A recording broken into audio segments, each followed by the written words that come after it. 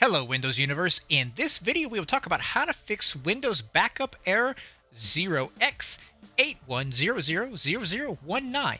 A shadow copy could not be created.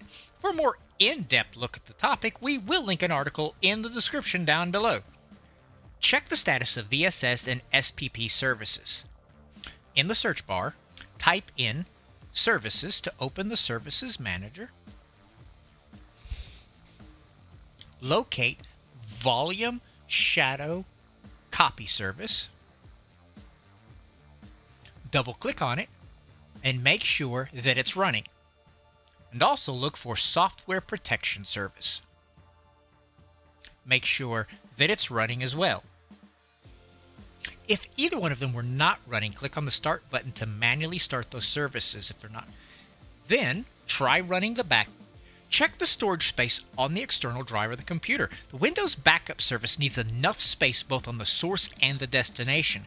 If either of them doesn't have it, then it can be result in this error. It could be one of the causes of the error, but not the only cause. Run the CC Cleaner or Disk Cleanup utility to clear up disk space. Type in Disk Cleanup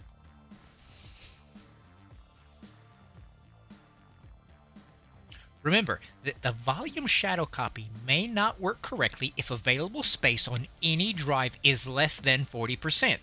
So, use any kind of built-in disk management or some sort of freeware partition manager to change the disk size if you feel it's necessary. Make sure that for disk cleanup that we check everything. Click OK.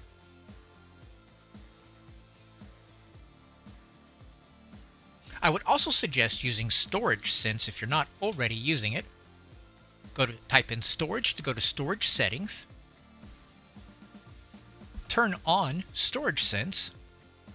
Then click on Run it. Click on Clean Now. Try deleting restore points. If the error message includes the specified object was not found error code 0x81000019, then you might want to try deleting the old restore points of the drive in which you try to take the backup. Type in restore. Type on restore. Under system protection, click on the drive that you want to do the partition. Go to configure, then click on destroy, delete all restore points for this drive.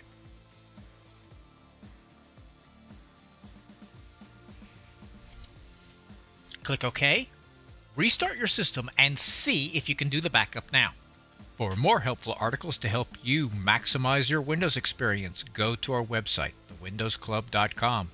Do not forget to give this video a thumbs up and subscribe to our channel where we are always adding new content aimed at making you the master of your digital house. Thanks for watching and have a great day.